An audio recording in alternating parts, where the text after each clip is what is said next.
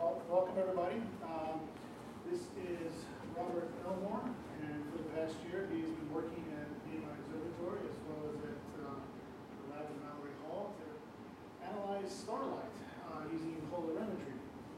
He's taken the images, he's analyzed the images, he spent many a cold night at the observatory, uh, to test that fact, and his project is uh, a continuation of what has been occurring for the past few years, and it brings us one step closer to finding an answer that we've asked three years ago.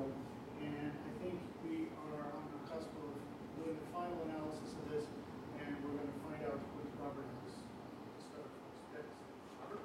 Thank you, sir. Uh, ladies and gentlemen, first off, I'd like to thank you for coming out to see my presentation. Uh, as Colonel Pleasant said, it is kind of a continuation of previous cadets. Uh, and the title is Broadband and Narrowband Polarimetry of Nearby Star Clusters um, with the Department of Physics and Astronomy, Topasna advisor for this project. Uh, so first, we're going to need to acknowledge some previous work done uh, on this project in order to get an understanding of it. Uh, these are two honors cadets, Cadet Matthews and Cadet Tate, who presented their projects uh, two years ago and one year ago with the titles Multi-Wavelength Analysis of the Empirical Serkowski Relationship for Interstellar Polarization, and then as well with Cadet Tate, uh, Narrowband Polarimetry of Stars in the Vicinity of, of Nebula Emissions. So, and we'll get into this a little bit further, exactly what everything means.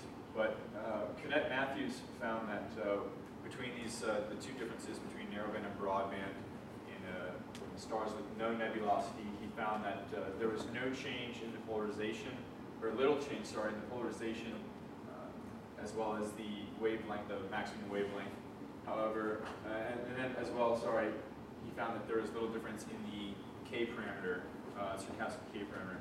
However, Tate, Tate found that there was a difference in this Serkowski K parameter. He agreed that there was little difference in the polarization, little difference in the wavelength, but that there was a difference in the K.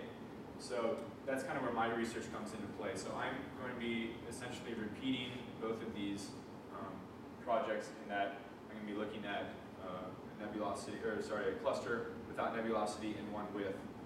Um, and so the title, or my research question, essentially is then, uh, what is the difference, if any, in the polarization of starlight due to selective extinction caused by dust particles in the interstellar medium using broadband or narrowband polarimetry? So uh, first off, and kind of an aim that I want to have in this presentation is to be able to describe these things to you so that you can understand what's going on because that's you know, kind of one of the big things coming to these presentations in previous years is that I kind of got caught up in what's going on and couldn't really understand it. So uh, keep your questions in mind to, to the end uh, so that I can help to uh, explain everything. And in doing so, we're going to go over uh, what polarization is and do these dust particles, what the interstellar medium is, what's polarimetry, and then that way when you understand those concepts, hopefully we can go into my observations, analysis, and the results of that to, to be able to understand that.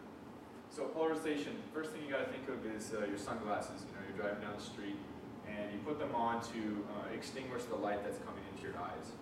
You're, you're reducing the amount of photons uh, by the polarization in the lenses. So just likewise, uh, dust particles will actually do that in an interstellar medium. Uh, we have dust particles floating out there, and they're actually spinning on an axis that uh, follows the magnetic field of our, of our universe, of our um, galaxy, sorry. So a star that's out there and it's, it's showing light through these particles and actually getting polarized like your sunglasses when it reaches us. Um, so that's what we mean by that. Uh, what is the interstellar medium? It's essentially these uh, clouds of gas and dust that are between us and other stars in our galaxy.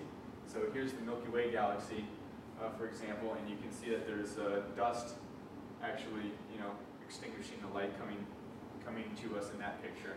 And that's what we're looking at. They're, they're 0.1 micron sized, um, 0.1 micrometer, sorry, sized uh, dust particles uh, with graphite inside and ice coating. Um, and so that's kind of uh, the, the makeup of these particles. So what is polarimetry? Well, uh, it's a new practice about 60 years ago that was uh, mainly used in physics and uh, chemistry labs. And what it involves is rotating this wave plate, which uh, allows you to look at um, the, the, polarized light in different angular positions, you know, the different, different angles that the light is being polarized coming at you. So for what we do is we have our light come in and hit our half wave plate that we can rotate to different degrees. Uh, we have a filter and a prism that breaks up the light to uh, extraordinary and ordinary light. So why exactly are we doing this? Well, um, part of the reason is, is because we can remove some of the instrumental polarization. So each camera kind of has its own inherent polarization to it. And we can use uh, Stokes parameters, which I'll explain in the next slide, uh, in order to get a, uh, a better value um, that doesn't include the instrumental polarization. So essentially, you can imagine, if you take an image or if you get a value, and you have that value, and it's multiplied by some type of gain or some type of error, if you were to divide that by like another image and the same gain, you would see that the gains would cancel out and you'd be left with a ratio of the actual information you wanted. And that's kind of what we're doing here. So we're removing that instrumental polarization using the difference between images at different degrees, uh, and that can give us a polarization, an angle, and then the uh, errors for both. So here's the image of the uh, perimeter outside the VMI Observatory. It's constructed at VMI and edited by Cadet Matthews to include uh, some filter bars for additional filters that we needed. So you can see there's the filter bar slots, and then the filter will go through there. We have the uh, wave plate that we talked about rotating, right? And then uh, uh, an additional filter wheel and the camera on the back, the CCD camera. And this is a CCD camera here. So these are just some specs. The important thing to think about here is that you want to be able to match your CCD to your telescope. Uh, and that's something Colonel Topaz has uh, done well enough in that we can use that these different uh, parameters and change them uh, to get the images that we want. Uh, so it's kind of you know like a similar camera, maybe a little more sensitive, but the photons, or sorry, yeah, the photons are going to hit the silicon surface, and it's going to give us a charge that electronics can detect and uh, create an image for us. So these are uh, the two different filters that we're looking at, broadband and narrowband. What are those? Why are they important? Why is this research important?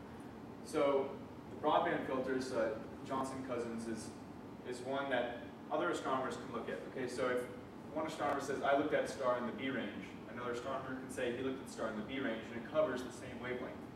And as the title suggests, broad, it's a broader range of wavelength that you can uh, see, that you can let light in, in to get an image in. And so the importance of narrowband then is that you can select specific wavelengths. So, for example, if you're studying a star with uh, nebulosity, you might want to look at you know certain wavelengths like the oxygen, H alpha, sulfur, uh, to get an image that you want. So, basically, the, the point is that uh, astronomers will use broad and narrow band, you know, depending on what they want to look at, what image they want to achieve. And so, again, my project is saying, so using this polarimetry, is it okay to use broad and narrow is there going to be a difference between the two if you're using that, or are you safe to go ahead and use either and compare their data? Here's the telescope. Uh, it's out of the VMI Observatory at Keithan Park. It's a uh, Cassegrain. It's got a ratio from uh, focal length of diameter of 13.5. Uh, and it has a 15 arc minute field of view. So what does that mean? If you look up at the sky and you see the moon, that's about a 30 arc minute. So if you take half of that, and we can look around the sky with that kind of field of view, and what that means for us is that it's just basically the range that we want in order to take these pictures and for stellar, stellar photometry. So it's a good field of view, and the polarimeter, as you saw earlier, is here mounted on the back. So the observations. Uh, observations, we went out for eight nights, uh, four star clusters, about night for the broad, a night for the narrow band. Um, and here are the four star clusters here. We have M29, NGC 1502, M42, and IC 1805. Now, we're going to be focusing on NGC 1502 and IC 1805 in this research um, for the reason that in M29 we actually found some pretty conflicting results um, when we were looking at the broad and narrow. And Colonel Topasna uh, hypothesized that the star cluster may have been you know, at such a distant range. So if you're looking at you know, stars you know, straight on, as opposed to on the side, they may be you know, even different star clusters because they're so far away. So we decided um, to go with these two as well, and then, sorry, not M42 as well, because that had a low polarization in its stars. So in research where we're looking at polarization and we're comparing the polarization at different wavelengths, you want a healthy enough polarization to tell differences. If it's all very low, you, you won't be able to see good curves. So we did get um, two good data points, uh, or sorry, two good clusters. And this is uh, the cluster without nebulosity, and this is the cluster with nebulosity. Typical night would be from uh, about 8 to 2 a.m. and got a little cold out there, um, but it also kind of depended on the uh, exposure length. So, you know, we took thousands of images. We would take, you know, either sets of, from sets to 10 to sets of 50, from exposure lengths of, you know, a millisecond to a minute long. So depending on how many photos and what exposure time, you're either out there for, you know, a varying amount of time. Uh, and then here are the clusters here. And so this is, you can kind of see the nebulosity here. So that means it's either embedded or, you know, even in front of a nebula. Um, and so even, you know, this image we selected here was from the narrowband.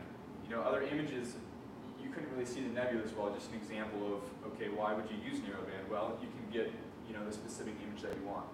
Anyway, yeah, the point is that these are the two clusters, and uh, this is with nebulosity. Now, you're seeing kind of a double uh, star pattern going on here, and that's due to the prism that we have that's splitting the uh, extraordinary and ordinary light in order to do the polarization.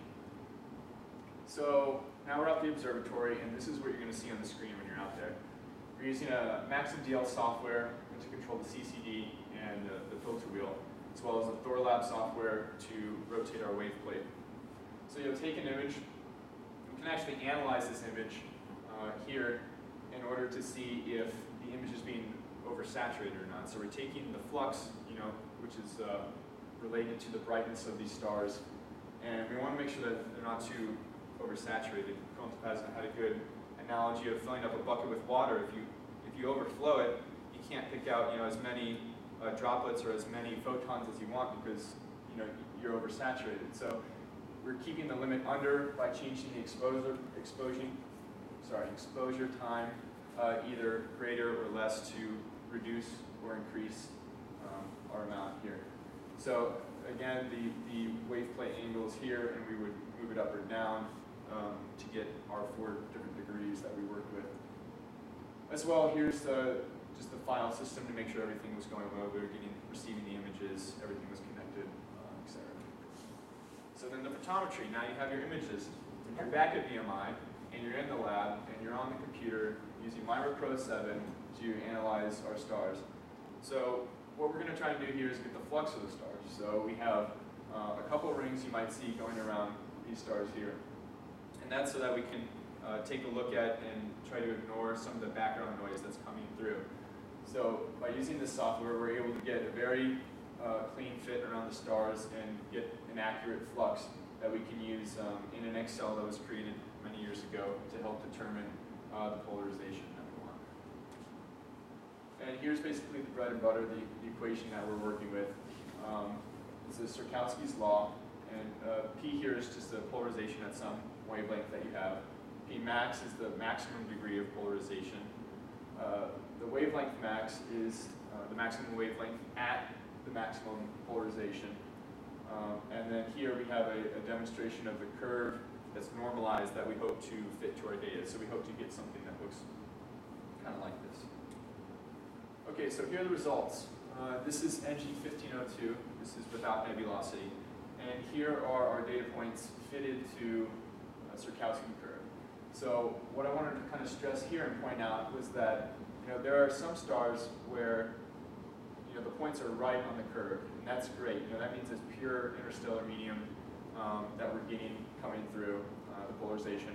And then there are some where you can see that some points were, you know, a bit off, and that can just be uh, due to the star actually having intrinsic polarization at that specific wavelength. So it could be um, something, uh, stellar particles orbiting the star, or um, uh, some stellar activity happening there. Uh, the rest of the data, and then the narrowband as well, some uh, error coming into play, which I'll get into a little bit later. Uh, but here are the, the, the, same stars from the broadband, from the narrowband in comparison. We have this k value, the Serkowski uh, parameter. We have uh, the error in it.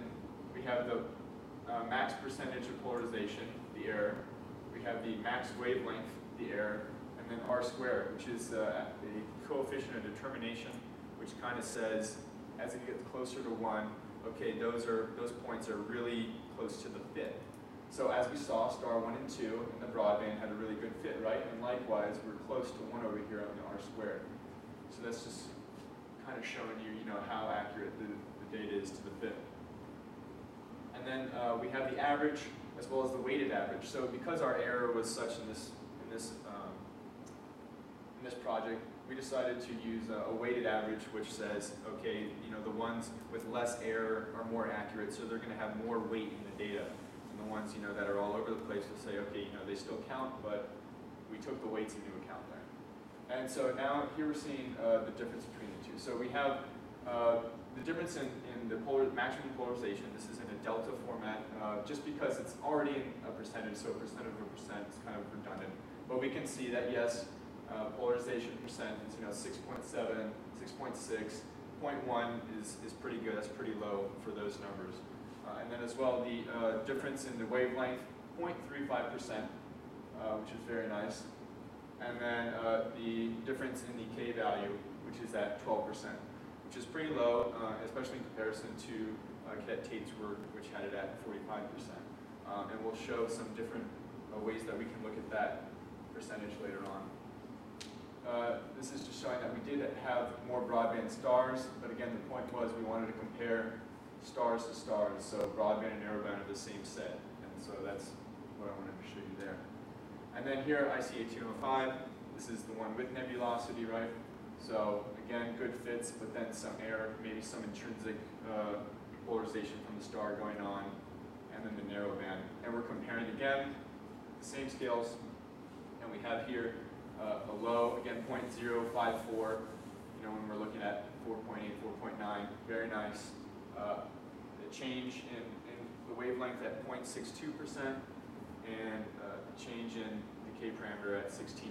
So again, pretty low there. And here are the results side by side, and it's kind of important just to see that, okay, you know, there may have been 12, 16% off, uh, which is still low.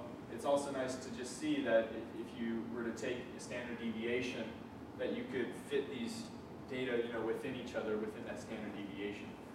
Um, within actually two standard deviations, uh, at least both of these fit. So then uh, here's a the fitted K um, versus the wavelength here. So the broadband, the black stars, and the narrowband red stars are plotted, and their K value as well. Um, we did a linear regression on these to give us these lines here.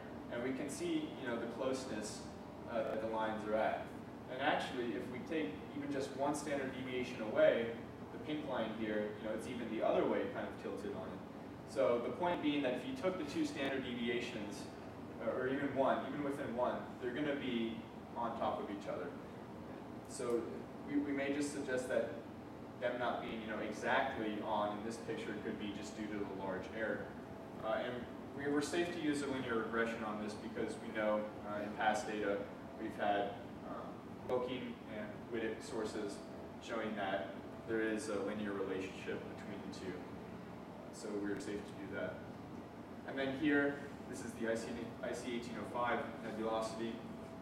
Again, uh, shows you know some some resemblance of, of regression here. It is a lot harder to tell on these, you know, small amount of data points with large error, um, but we can see in other ways uh, how the data is related. And here's an example. So this is the normalized Serkowski curve. Uh, black here being broad, red narrow, purple broad, yellow narrow of uh, the two different clusters. So, you know, uh, in, in doing this data, I would, you know, ask as, you well, don't you think 12 or 60% is, you know, a little higher, we want a little lower. Um, but the argument is actually that this, if, if you were to change the colors, you know, here to be the same color, uh, could you give me two distinct lines? You know, if you could, if you would put the colors here the same, could you point out, okay, here's one line and here's another line? Or would you say that they're uh, about roughly the same? And then, again, all the data together. Uh, if you made it all the same shape and color, of course, there's a couple outliers, but we're not seeing a real big difference here. So the conclusion is this. Um, just like Cadet Matthews, just like Cadet Tate, the uh, max polarization, and max wavelength are nearly the same. And we're saying that with our fitted parameter K, it's also nearly the same. Uh, so that kind of begs the question, well, what happened with Cadet Tate's research? This is actually an interesting thing uh, that came up towards the end here. Uh, and we're thinking that there might be an argument for stars with high signal to noise. So if you have a star and you have, you know, a picture of a star and it has a high grain, you know, graininess behind it, this could be an issue of, of what we're looking at. So he may, may have been looking at stars, uh, some stars that had high or low signal to noise, which might have made a difference. So here's the signal to noise ratio here, and these stars are at you know a certain K. And then as we get lower and lower, we see that the K starts to peak, this K value. So that might be our thinking is that, okay, he may have had, you know, looked at a cluster that had stars with different signal to noise, which may have affected the data. And so that's kind of where the future work comes in. Uh, just to start in general, we would like to reduce some of the error that I've had in this in this um, project, and that can be done. Do, that can be done with uh, an increase in exposure time. You know, if you leave the aperture open longer and are able to uh, get a better image, uh, as well as larger sample size of images. And this really could be done uh, more so if we repair the automation of telescopes. So right now it's kind of tedious. We're going up and we're, we're changing everything that we need to and following the stars and making sure that we're getting our data. But if you could automate it, you know, you could just let it run and you know take more images, take it for longer, and so that could help improve that. And then as well, uh, as I mentioned, the signal to noise ratio, that is going to be another thing that we're going to have to look at um, in the future. All right, so I'd like to thank you all for coming out, and uh, especially Colonel Topasna for sitting outside in, in the cold with me when he didn't have to. Uh, so I'll open the floor for uh, questions. if anyone has any. Questions? Uh, perhaps a little off base here. Um, so there's no current way that you know of right off the top of your head to, I guess, effectively tell whether or not a star is high signal to noise ratio. Uh, so the signal to noise ratio is more about uh, the image that you take. So uh, if we can look at, um, it's not the best way to describe it, but if you want to think of, you know, looking at this star, the background is really dark, right? And if you if you looked at, at like a star here, a fainter star within, you know, this kind of grain, that's kind of what we're talking about. So depending on your image, you get different signal to noise ratios, and we want to look at those uh, going into the future. So you can, so it can be an artifact of just the one time you took it, you know, the, the background happening a little bit worse, or the positioning of where you were looking at it could make the signal to noise just a little bit worse than it was beforehand. Uh, that's Or- or better. Okay.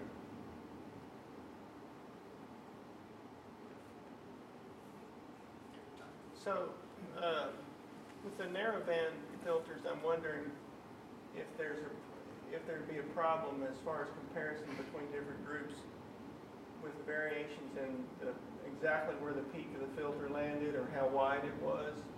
Because it seems like with the broadband filters, there'd be more uniformity from filter to filter of the same kind than there would be from, for narrowband filters. For the broadband, you actually do, in some cases, have a couple narrow bands with inside of a filter range, because you have such a broad range of the filter. Okay. So you have the two that are here. So in some sense, you are comparing, you know, one measurement from a broad to two within. Okay. Broad should have that same slope uh, within it. And it all depends upon how you measure the central wavelength of your broad filter. So, Hmm. and um, that was something that uh, Robert did, that we actually did in the lab, we measured where the broad filter central from things. Uh, it's a question I've always wondered about as well. If I had, you know, a whole bunch of narrowband filters across a broad, would I reproduce the same curve? Um, Pretty much, even with the broadband filters, the lower sets, unless you get into the, the uh, longer wavelengths, they're narrow enough that the cutoff will give you a a tighter range. And it's, it's, like I said, no one's ever done the, it's an empirical relationship, let's see if it fits. No one's ever done this to see does narrow and fit with broad. The answer is yes, unless. Checking the filters, you always use the exact same filter for each one of them? How much- How much variation is there between supposedly the same two filters, whether you put one or the other in? Um, since we're doing this as a bar, what we do is we, s- uh, well, on the, Yeah, so, um, well, I could include a better image here, but we have the bars uh, coming in and just has, I'm trying to understand the question, it has the, the filters laid out in them, and we just switch in between them